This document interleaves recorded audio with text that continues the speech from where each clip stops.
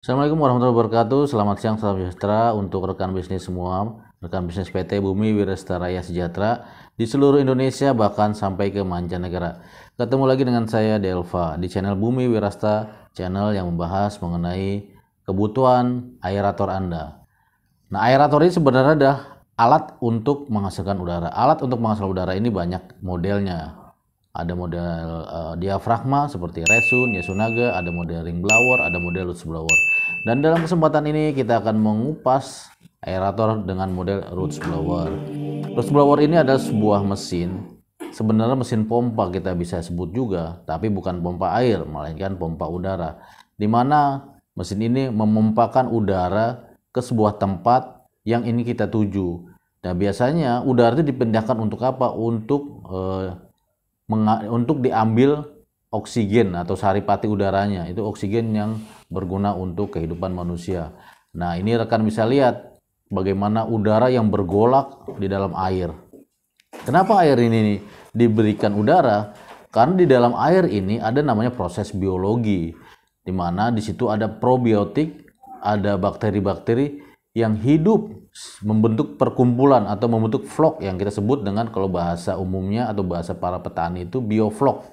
Nah, dalam video ini ini adalah kolam IPAL atau STP atau WWTP atau bahasa Indonesia instalasi pengolahan air limbah di mana proses ini adalah proses biologi Proses biologi itu adalah proses uh, pembentukan bakteri dan bakteri ini akan mengurai uh, amoniak atau BOD atau limbah-limbah yang ada dalam bak tersebut.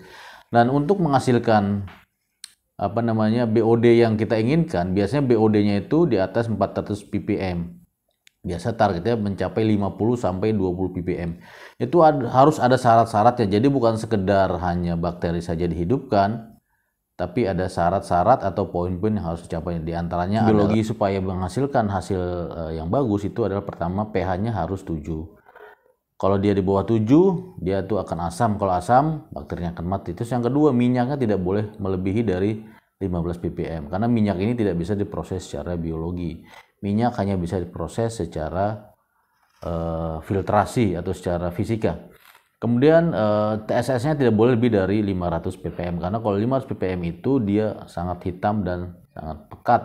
Oleh karena itu untuk menurunkannya harus dengan menggunakan proses kimia. Nah, di sini rekan bisa lihat bagaimana blower itu diputar oleh dinamo, di mana dinamo itu dihubungkan dengan puli dan fan belt dan fan belt dan dinamo menyatu dengan fan belt dari blower. Yang perlu diperhatikan adalah sebenarnya di dalam blower ini pertama adalah olinya. Olinya itu harus rutin diganti ya.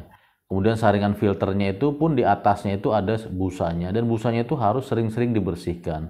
Kalau perlu diganti, tapi e, busa untuk penggantiannya ini durasinya cukup lama ya.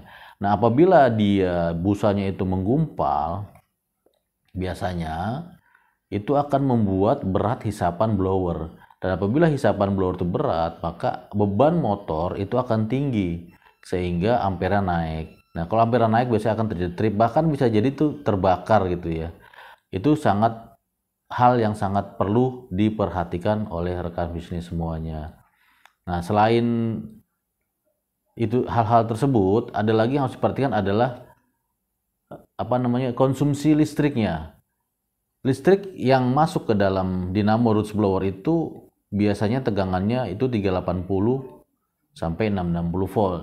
Nah, rekan-rekan harus bisa memastikan bahwa tegangan yang masuk itu, itu stabil gitu. Tidak boleh kalau misalnya 380 tidak boleh di bawah 380. Misalnya kalau 350, bagaimana yang terjadi? Biasanya kalau dia yang masuk itu rendah, maka ampere dari dinamo itu akan tinggi sehingga blower uh, motor blower itu akan menjadi panas dan ini kan menjadi masalah. Ini sering banget terjadi gitu harus diperhatikan, harus diperhatikan sekali orang rekan bisnis sekalian mengenai voltase listrik ini karena ini bisa menyebabkan blowernya terkendala. Baik rekan bisnis, terima kasih yang sudah menonton YouTube kita. Saya harap bisnis sukses semua. Terima kasih sekali lagi. Assalamualaikum warahmatullahi wabarakatuh.